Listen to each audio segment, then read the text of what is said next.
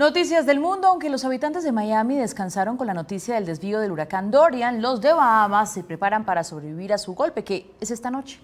El huracán Dorian continúa su marcha hacia el noroeste del Atlántico, alejándose un poco de la Florida, pero llenando de temor a los habitantes de las Bahamas. Según los últimos reportes del Departamento Meteorológico, el huracán categoría 4 tocará tierra mañana en North Leutera, Abaco y Gran Bahama, en las Islas Bahamas.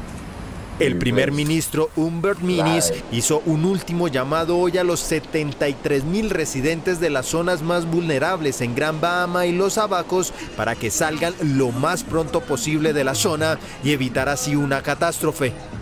Pasada la medianoche, Dorian llegará a la isla con vientos de más de 230 kilómetros por hora, en donde sus habitantes ya tomaron medidas para enfrentar la inminente llegada del huracán.